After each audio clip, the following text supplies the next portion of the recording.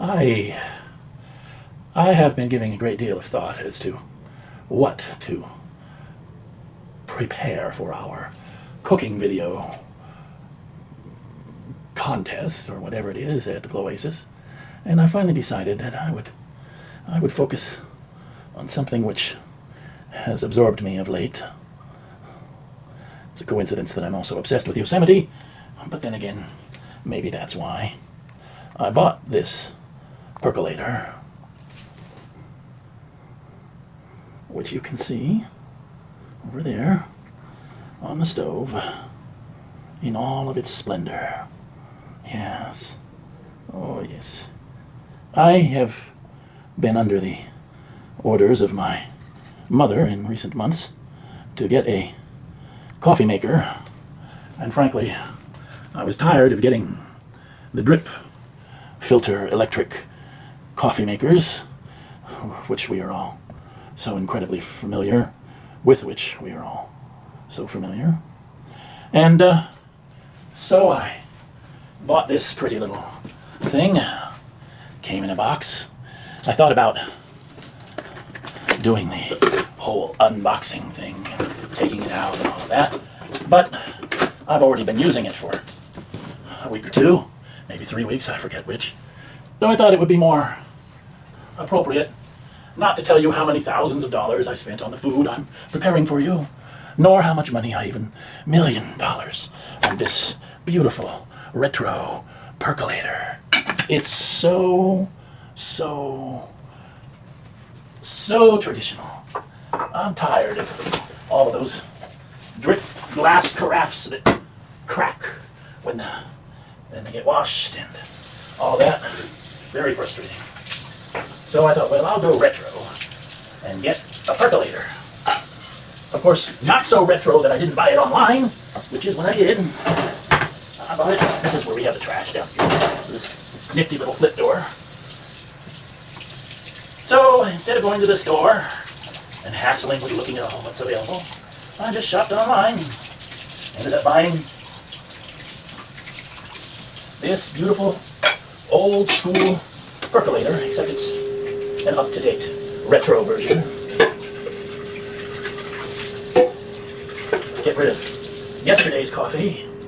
Now, the water in San Diego is so GD awful, full of salts and minerals, that I just hate to drink it. And in fact, if I ever boil tap water in this lovely teapot, let me show you this. This thing is so cool. It has, it has a little basket. Oh, Liz would approve, I think, of this as a teapot. But I hate to use tap water because it ends up scaling all over the inside. Minerals and sediments, salt, debris. So, I buy Safeway brand. Refresh. It's only $197,000 a gallon. and, uh, oh yes, I don't know if you can see it, but inside, I can get the angle just right, there's markings like on the outside telling where four, six, and eight cups are. And in order to really see it, I have to freaking turn on the light in the kitchen and the light on the stove and angle it just right so the reflection goes on the thing. And there it is. I pour the filtered water. Now, this ain't no water stolen from a spring in the San Bernardino Mountains. This is just regular old certified dead tap water. No organisms of insidious nature alive in our tap water, no. But it's been filtered. Filtered to remove all the horrible sediments and salts and minerals which abound in our water, which mostly comes from the Colorado River. This is our spice cabinet up here. We have the garlic and the pepper and the oregano and olive oil. I also have corn oil and vegetable oil and peanut oil and honey. Mm. I'll put that in the coffee when it's done. I'll peanut butter to put on the toast and some real maple syrup when I get around to making pancakes, which I don't do much anymore. They're kind of fattening. And we also keep coffee up here. Now, the one tricky part is this basket isn't as big as those big filter things. So, and there's a hole, a rod coming up in the middle of it. So you have to be careful when you put, oh, I want to start the water. Yes. Yes, I turn it around. Since I don't have to read the scale that's on this side anymore, by reflecting the light off the back side of the wall, I can move the handle just a little ways away from the worst heat of the flame. Can you hear it? Already, the water's starting to heat up. Now, if you want mild coffee for six cups of water, you put in four spoonfuls, and I tend to use large spoonfuls, although I've knocked the top off this one so I won't spill it when I come over. But you see, you have to go around that rod in the middle. See it in there? So you don't spill coffee down the hole in the center, which means it'll go down and get in the water underneath. Now, I'll either use four or five if I'm really feeling like I need a jolt. For six cups of water, I'll use six spoonfuls of, ah, yes. Often I'll put this in the pot and then just settle this down right in the pot itself, but not today. So I wanted to show you this old style percolator. And of course, if I'd waited until the water boiled, I would have just had second degree burns all over my fingers. And there's a nice little top to the basket. And when when the coffee starts to percolate, it will come up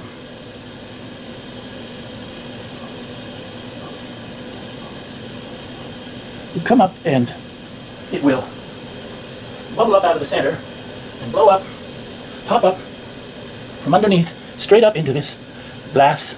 Oh, too close. Straight up into this.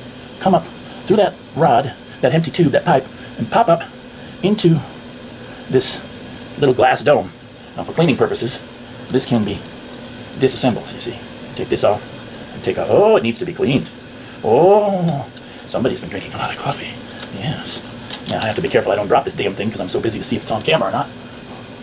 Yes.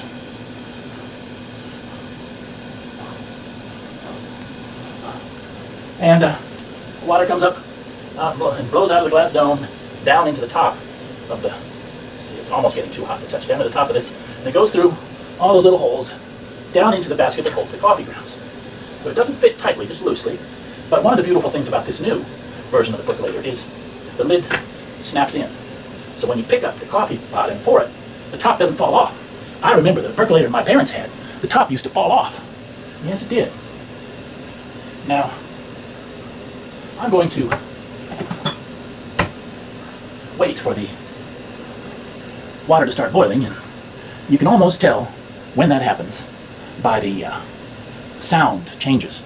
Right now there's a, it's a little bit off center here. It doesn't have to be that far to protect the handle. You see, I don't want the flame coming right up. I don't want the flame coming right up around here. I want it to be high to get the water boiling as soon as possible, but I don't want it coming up so much on this side because that gets the handle all hot. And I don't want to have to use a hot pad just to pick up the coffee pot. Now by this time, I, I really shouldn't be touching it anymore because it's getting pretty hot. You might be able to hear by the sound, the water's getting there. And after a while, the sound settles down and then it starts to go. But that's only the beginning. It takes another bunch of to where it's actually going bloop all the way up the tube and going but that won't be for a few minutes. Nevertheless, I'm going to leave the camera running so that you might catch the very moment. I'll edit a lot of this out because it usually takes a long time. I've just about said everything I can say. I am going to sit down right here, however, and wait. Hope that I don't bump the tripod. Yes, he's a big old guy. Doesn't want to bump the tripod. And uh, I can. Usually my chair's a little bit over to the left here, but that's where I set the camera. So I um, I find that if I make some coffee in the afternoon, it'll help me deal with the temptation of drinking alcohol, which is always always a big temptation, but I don't like to drink until later, just in case I have to do some driving. Oh, I bumped the tripod. No, I don't like to drink until later, because I never know if I'll be called on to drive to the hospital or something. Of course, I probably wouldn't drive my mom to the hospital. I'd probably call the paramedics anyway, because I was, last time she had a problem, I called the paramedics, and they said, oh, she's fine, she's just a little sore. Don't take her to the emergency room. They'll just make her sit there for hours and take x-rays and then tell her to go home. So, I was very pleased that the paramedics came and told me to calm down and how good that I called them so they could check her out, and now they thought she was all right, just a little sore. And that was the night she couldn't get up out of the chair. Yeah, she had flare up in her, pain in her hip. She couldn't get up. A day or two later, it was better. I was so shocked. Two days later, she came walking out all by herself in the morning, sat down and had breakfast. Well, I hope I didn't knock the focus off the stove when I... Oh, look, it's 2.22. Can you see that on the clock? 2.22, 222, et tu. Now that was the unkindest cut of all. Ah, wait, guys. Moritur te salutamo. Hear the sound? It's hard to hear because the refrigerator's so damn noisy. But the sound of the water has changed. It's getting close to perking. That looks uneven. Darn if that don't look uneven. No, it just looks uneven. Well, let's make sure we're still focused on them. Yes, we are. It's moving a little more on the top of the coffee maker.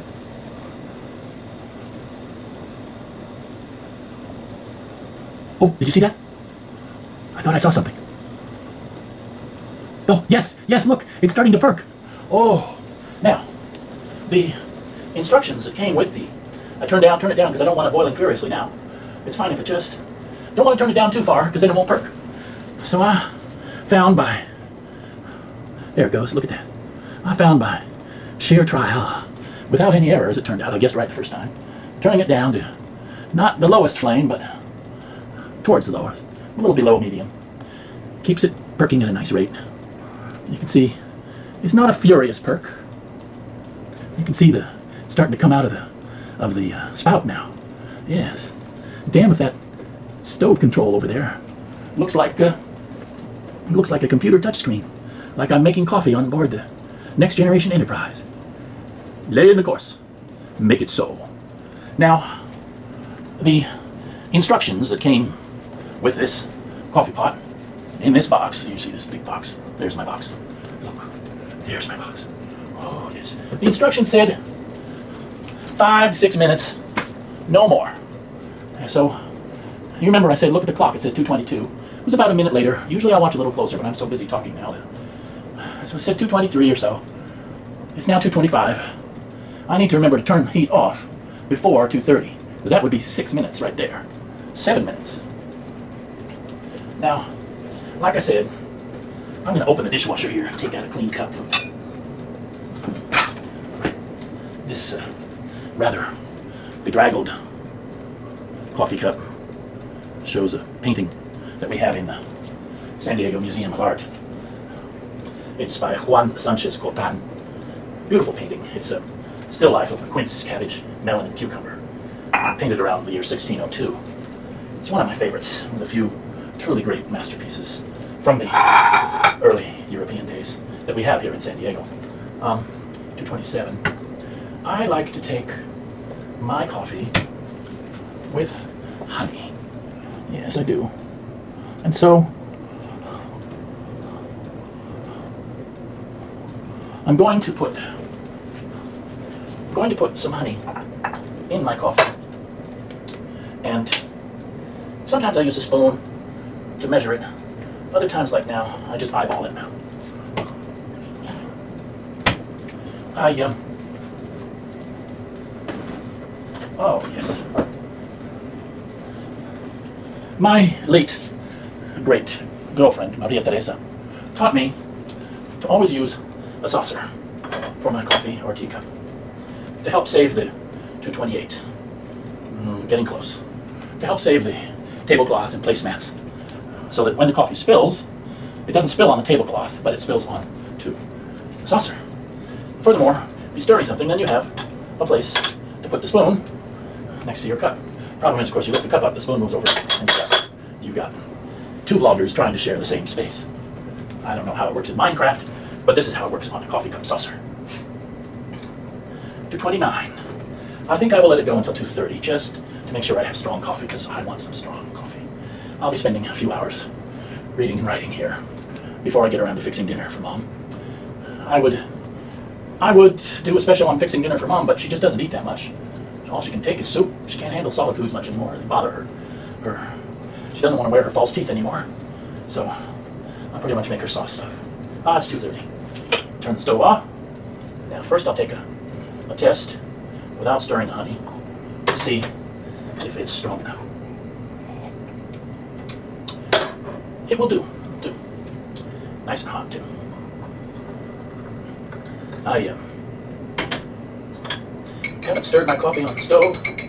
I can't remember if I ever have, but because I'm making this video for, for my friends at Vloasis, I stirred my coffee on the stove. Now that is how I make coffee nowadays. I use a percolator, the old style, like in the days of yore. Yep. And I will now say, oh, I have to take a sip. I have to take a sip. I'll get down right here where I know I'm in range. Oh, yes. Mm, ah, that's good. Oh, yeah.